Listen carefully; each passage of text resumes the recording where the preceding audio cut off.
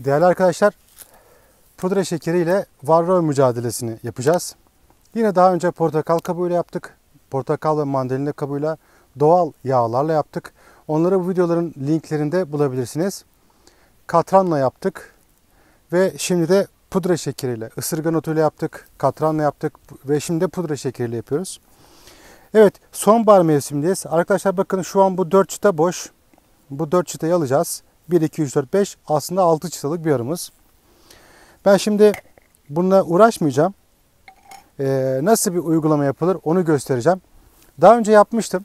Şu anda beyaz beyaz hayalet gibi uçuşan bazı arılar da göreceksiniz.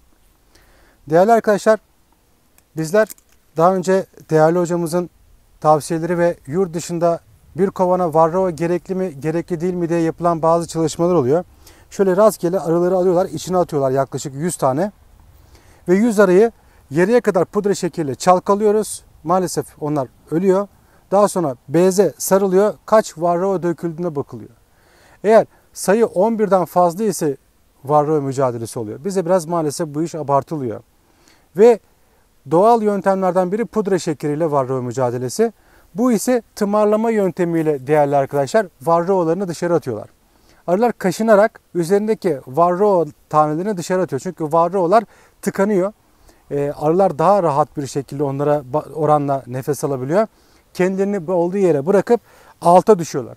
Bunları da karıncalar daha sonra topluyor. Ya da arılar uçuşa çıkıyor. Uçuşta silkelenip dışarı atıyor. Varroa bir daha kovana giremiyor. Yani tımarlama yöntemiyle pudra şekeriyle varroa mücadelesi. Çorapla da yapılabiliyor. Küçük süzgeçle de yapılabiliyor. Bakın şöyle uygulamayı size götüren Bismillah diyeyim arkadaşlar. Şöyle bakın.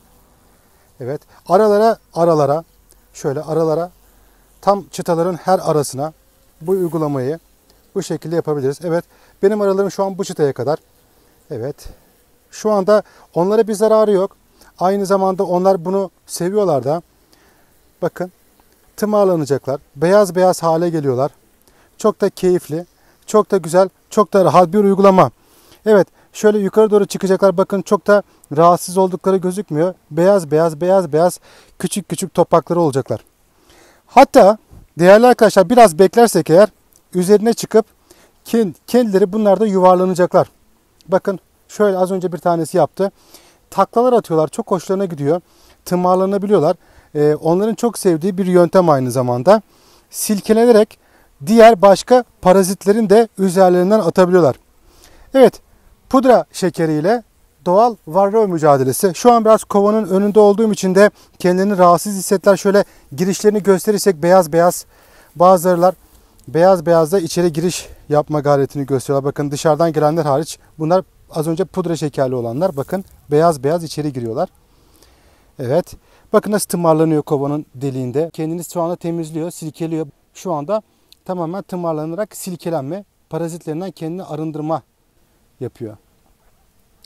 Evet, en doğal yöntemlerden biri değerli arkadaşlar. Pudra şekeriyle varroa mücadelesi. Kolay, basit ve risk olmayan en güzel yöntemlerden biri. Son biraz daha şöyle biraz daha uygulama yapayım. Ve onun da çekmecesine yarın bakarız. Dediğim gibi çok görmeyeceğiz. Çünkü karıncalar bunları taşımayacak, alacak götürecek varroaları. Parazitleri de alıp götürecek. İlaç olsaydık eğer e, karınca da aptal değil tabii ki. İlaç olduğu zaman karınca kendinin öleceğini bildiği bir şey, ürünü zaten taşımıyor. Tepside bir sürü varroa görüyoruz. O bir sürü varroa ölmüş diyoruz. Doğal mücadelede bunu göreme, göremeyebiliyorsunuz. Ama görmüyor olmanız, az görüyor olmanız daha iyi değerli arkadaşlar. Evet, ertesi gün bakın bu da mücadelemizdeki başarımız. Gayet güzel temizlemişler. Bu kısmı da tımarlanıp tımarlanıp alıyorlar. Evet alt göze baktık. Alt gözde bahsettiğim gibi karıncalar bunları değerli arkadaşlar taşıyor. Pek bir gözde pek bir şey göremedik. Alt çekmecesinde. Evet pancar pudra şekeriyle varroa mücadelesinde de başarılı sonuç doğal mücadeleden biriydi. Onu da size bu videomuzda göstermek istedik.